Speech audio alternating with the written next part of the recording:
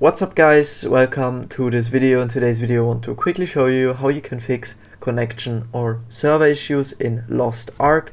That's the topic of today's video, so just stick around if you're interested in that. But before we start right into the topic, I would really like to mention something. You guys would certainly make my day if you could leave a like, comment and subscribe to my small little channel. It would mean the world to me, so thank you very much. Um, but let's start right into the topic. First of all, um, I would always suggest you to um, just try restarting your computer and then relaunching it as an administrator app but um, this may sound obvious to you.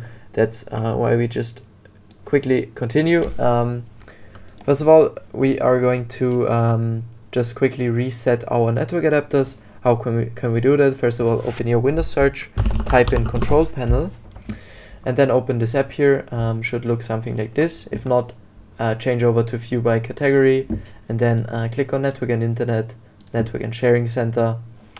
And then on the left hand side we can see the four different links. We need to click on the second link uh, that is called change adapter settings and then uh, the network connections window should open where we can see our network adapters.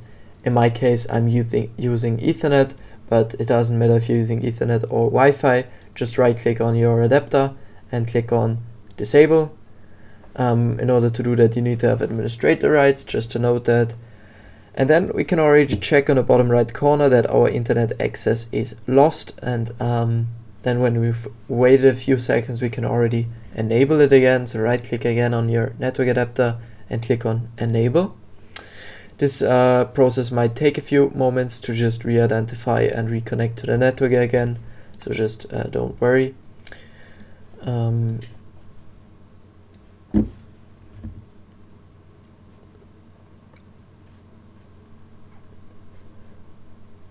Perfect, internet access is back. We can already close the network connections window.